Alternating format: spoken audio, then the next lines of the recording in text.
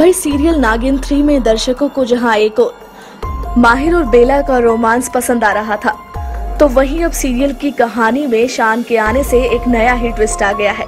शान है कि बेला के पीछे हाथ धोकर पड़ गया है। वो किसी भी कीमत पर बेला को हासिल करना चाहता है।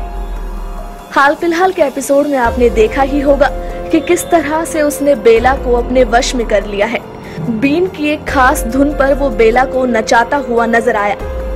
वहीं माहिर और विशाखा भी बेला को ढूंढते हुए पहुँच जाते हैं उस गुफा तक, जिसमें शान ने बेला के साथ साथ घर की अन्य महिलाओं को भी रखा है। सुमित्रा हो, पोलो हो, अनु हो या फिर कुहू, हर कोई शान के इशारे पर नाचता हुआ नज़र आ रहा है। वहीं जब माहिर का बेला से सामना होता है तो बेला माहिर को पहचानने से साफ़ इनकार कर देती है। वो उसे पराया मर्द कहती है। जिसके बाद विशाखा उसे समझाती है कि शान ने उसको अपने वश में कर लिया है। बेला को कुछ भी याद नहीं आता और वो शान की चाल में फंसती चली जाती है। वहीं आप आज के एपिसोड में देखेंगे कि शाहनवाज माहिर पर हमला करेगा और बेला चुपचाप ये सब देखती रहेगी। वो माहिर को बचाने की बजाय माहिर पर चिल्लाती हुई नज़र आएगी।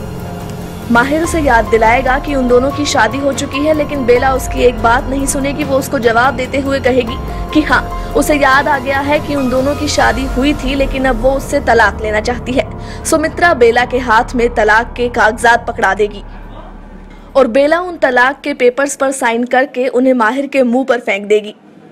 इसी बीच शान और माहिर के बीच लड़ाई होती हुई भी नज़र आएगी।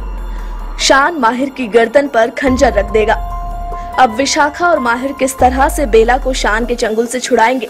इसका पता सीरियल के आने वाले एपिसोड से ही चल पाएगा।